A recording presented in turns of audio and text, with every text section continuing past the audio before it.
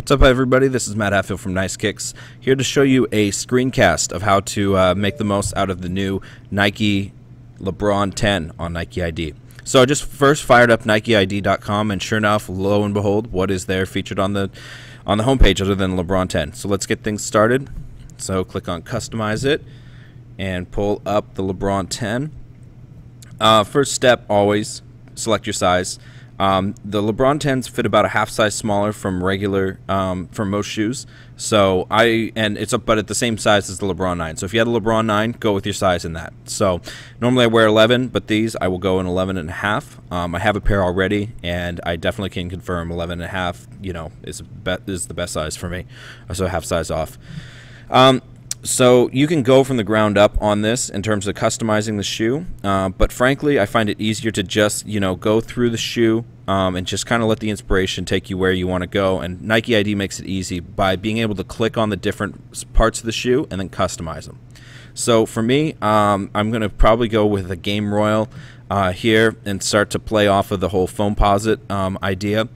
And so you see I just selected the upper there. I could go here step by step by step like this, but sometimes, you know, you just start seeing things, you just let them take you the way they want to take you and just, uh, you know, click and change colors. Uh, so here, tongue, going to change that color to a black. Um, what was the next one? Flywire. So a lot of people overlook this option here because you can't really see it on the upper, um, even on a side shot, but it's actually right underneath the um, the, the panels of the hyperfuse here. And that's the, the dynamic flywire is a pretty important part to the shoe because that's what is going to hold you know give you so much support and stability. Um, but for aesthetics, it just comes through and just holds the laces right here. That's probably the only visible part, but um, definitely adds a lot to the shoe. Um, lace is going to go with black on that. Um, now this is where the midsole is where things get really fun. Um, not only can you have either a solid color or a speckled color, but then you can choose, you know, your base color as well as the pop color um, in the in the um, speckled sole. Um, so I'm probably going to go, you know, with a black sole, speckle it with a little bit of, you know, maybe the blue. Let me try. Uh, feeling the white, and then the next step is you know, uh, and I amazingly is the last step for me because I've already gone through and selected these things pretty quickly. Um, is the outsole, and you can have either a solid color one, so you have several different color options here for solid rubber, translucent, of course, everybody's favorite, um, including clear. Um, and they do have an XDR outdoor um, ball, uh, outdoor sole. So if you do play ball outdoors, um, definitely a good one to think about. Um, but you know, here I am. I'm going for aesthetics and going for the Foamposite look. I'm definitely going with a clear outsole. And the last part, even though it's the first step, I like to save it for the for the last step. Is you can choose the color of the bag on the inside. So um, they have black.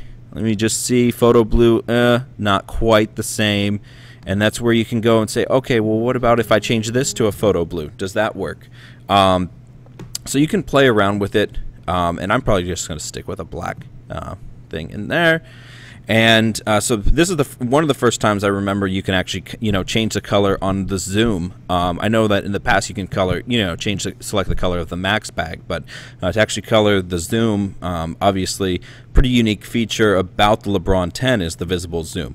Um, not very few shoes have ever had that in the past. Um, you know, it's not the first, but it definitely is the first to have a full length um, visible zoom bag. So, you know, next step uh, from here is, you know, just to, oh, yes, and the most important part of all, you can actually um, have a couple uh, personalizations to it. I mean, you almost forget about Nike ID, all the color options and things that you can actually identify them with the personal ID. So let's go with nice kicks. I wonder why I choose that. Um, you know, and, and then you can choose also the color that you want up here. So I could go with white. Yeah, I could go any color, but probably going to stick with black there. Um, and that's color ID. And they have a couple other phrases um, that are some ones that were uh, preloaded um, that are in different fonts as well. And then on the heel ID, you can either go with a LeBron graphic or again, you can put in your own personal uh, number and choose the color. So. I'm probably actually just going to leave it blank just because, for no other reason. And all you got to do now is add to cart, and in less than four weeks, you'll be seeing them at your doorstep. And I don't know what to tell you about that, but that's pretty incredible to me. that in only four weeks you can they can custom make the shoe and have it delivered to you.